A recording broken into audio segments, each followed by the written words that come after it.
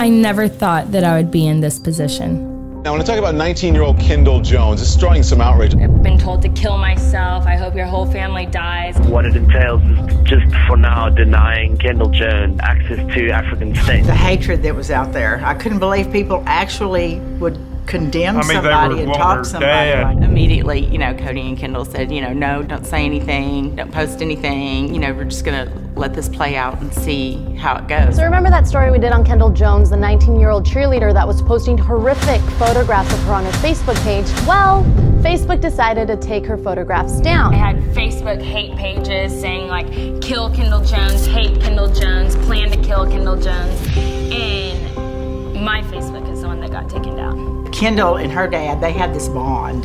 She would ask me, you know, you think dad would be disappointed because she didn't go through with her plan. To have people say you deserve to have your dad die. She was just screaming.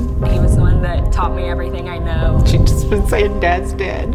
He gave me my ambition, my entrepreneurship. He was my hunting buddy. I can still hear her voice all the time. I was his only little girl and only child. I may not be able to tell you exactly how the future is going to turn out, but I can tell you that I am more than equipped to face what is ahead of me.